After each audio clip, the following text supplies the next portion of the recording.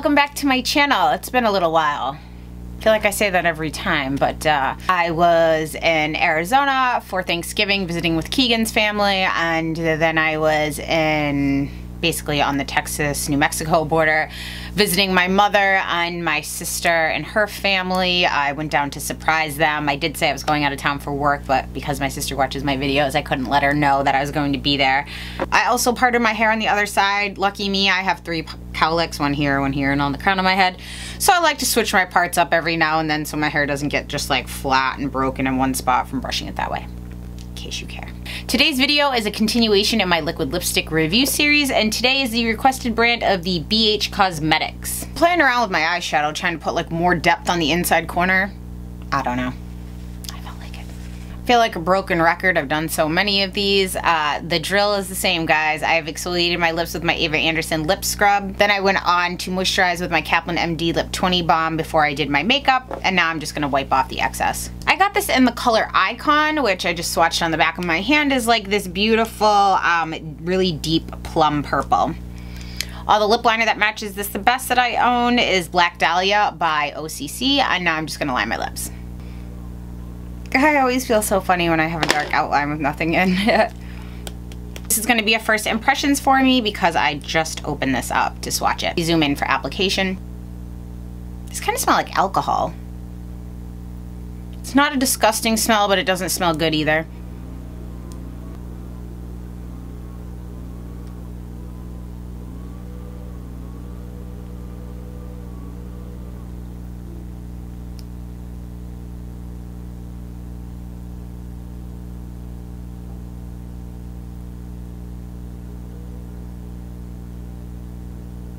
A little streaky so far.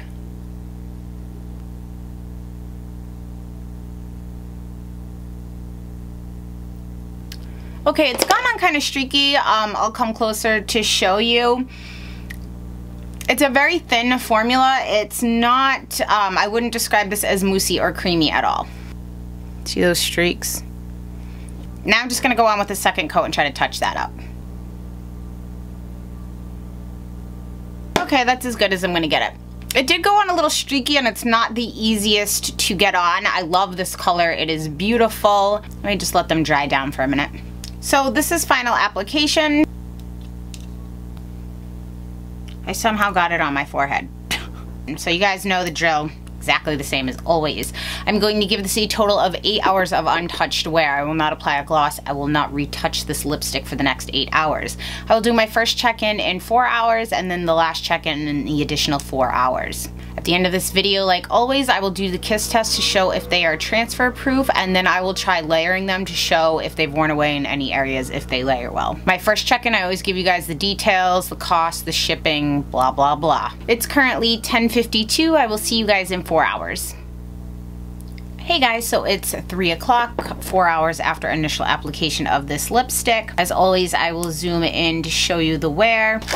I ate the last Christmas cake for lunch because apparently uh, some days I have the eating habits of a five-year-old left with no adult supervision. I also had um, uh, iced chai tea latte. Um, there's really not too much on my straw. There is a little bit, if you can see right there. You can see it's still streaky where it went on. These have remained fairly comfortable to wear. They are kind of dry. They're on the more dry side. If I had to compare them for the level of dryness, I would say probably that of like a lime crime and they're also very thin and liquidy like a lime crime i would not describe the texture as moussey at all now for some of the details on these Obviously, this is by the brand BH Cosmetics. This is my first purchase from this line. I also, um, at the same time, got the Carly Bybel palette. Since someone asked me to review this, I figure I would order them both at once. I did order this online. When I searched for BH Cosmetics, um, Urban Outfitters came up, but just for their palettes, these weren't available there. So I think you can only get these from the BH Cosmetics website currently. The cost of these is $6.50, which is very affordable. Shipping, however, was a little odd. While this product was $6.50, the shipping was $4.95. I do think their website is a little outdated because if you look on the shipping and information tab, it actually shows that shipping in the US for standard ground, which is what I got, is $7.95. So that may uh, be a little off. Obviously, I paid less. You do get free shipping within the US with a purchase of $50 or more, but since their products are so inexpensive, I think you'd have to buy a crap ton of stuff. To Canada, the shipping is $13.95 and the rest of international shipping is $21.95. I did not see any information about free shipping within Canada or international. They do take PayPal, which I like, and credit card. I didn't see any discount codes, so I'm not sure if they're available. Um, like I know Carly Bybel, she has her palette. She might have a discount code. I'm not quite sure. If I can find anything, I'll link it in the description box below. This is the outer box that it came in. It just says BH Liquid Lipstick by BH Cosmetics. The ingredients are on the back, which I like. Um, I At first I couldn't find the name because I kept looking at the bottom of the box, but it's actually on this barcode label right here. And then this is the packaging it comes in. It's just a clear tube with this little black top and a little black stripe at the top. The, um, the name is on the bottom as well as the weight. Something I did have a question about though on this is their website says made in the USA this box says made in the USA, but the bottom of this label says made in PRC, which is the People's Republic of China. So I thought that was a little odd. I'm not sure if it means maybe just the sticky label or maybe just the this container, but that's highly unusual. I've never seen something that the label says made in China and they were just talking about the package. I don't know. I, I found that a little odd. Um, so if you're interested, you might want to email them for clarification. You're only getting 0.12 ounces in here, which is much on par with what you get um, in the ColourPop. I was actually petrified of these because because of the cost being similar to the ColourPop, I thought that these were going to be like ground up glass on my lips. I did order one of the recently reformulated ColourPop liquid lipsticks, so I just got a shipping notification today. So once it gets here, I am going to do a take two review on that, but that original formula will haunt my nightmares for years to come. There is a little jar with the open symbol that says the shelf life on this is 12 months after opening. I ordered this on 1122. On 1124 I got a shipping notification and I received this in my mailbox by the USPS on 1130. These do ship out of North Hollywood, California. I'll show a picture of the shade selection. Currently they're available in 10 different shades.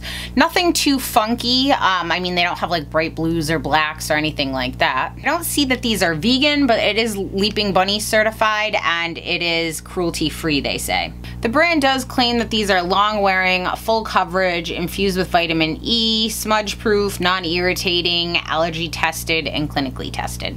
The ingredients are listed on the box if I didn't say that already, which I really like. They're also listed online so you can go through and take a look at them. There's basically solvents in here, emollients, suspending agents, uh, liquid silicone, absorbents, thickeners, emulsifiers, more silicone, slip agents, antioxidants, vitamin E, holding agents, preservatives, and pigments. Nothing in here that would cause me any concern for putting this on my face. These are dry, they're making me want to lick the corners of my lips, but again, um, nothing more so than lime crime. If you don't like how dry lime crime are, these might be too dry for you as well. That's pretty much all I have to say about these right now, guys. Um, I'm on, I have to go pick up Janine, and then I will check back with you guys in another four hours after I've eaten real food so you can really see the test of these. Hey guys, it's 7.55. It's actually a little closer to nine hours after initial application of this. I just walked in the door. Janine and I went to go see the new Mockingjay. What is, what's that movie called? Hunger Games. I don't know why I just couldn't remember that. Uh, so I just dropped her off at home, so I'm a little overdue. I want to zoom in to show you the wear. So um, first let me tell you what I ate at the movies. I had a soda, some french fries, and popcorn. Um, you can see it's worn away right in here. Right there. These have been so, so uncomfort. I mean, they're not, they're not painful, but I wouldn't call them really comfortable. They're, they are dry. The driest part is in the corner of my mouth here. So just like always guys, how I rank these is going to be determined on the kiss test and showing how they layer. So nothing on the back of my hand. Transfer. All on the outside there. Now let's see how these layer. Sorry if I'm lagging guys. I was up at 5 this morning and I've been traveling nonstop. I'm I'm tired. Oh man.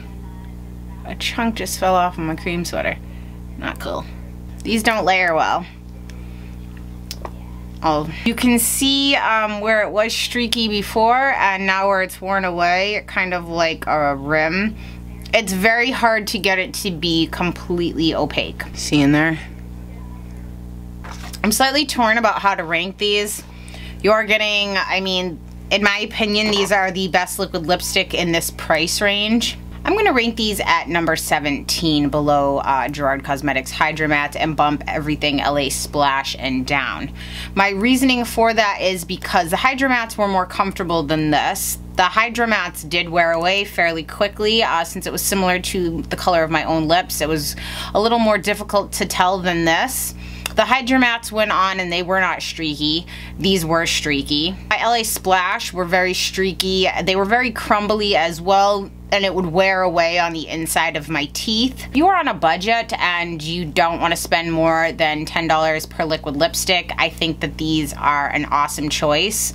Um, again, I ordered a new ColourPop one to try, but that first formula I hated. I don't like how these are very streaky. Um, I mean, up top, it's it's worn a lot nicer, but when you're up close, you can see the streaks in there, which I don't like. It didn't layer well either, so and they are dry. And as you put on more, now I'm wanting to do this. Uh, that's like, I, that's my dry test if I'm always licking the corners of my mouth. So I hope you guys have found this review helpful. Thank you so much for tuning in and I will see you next time guys. Bye.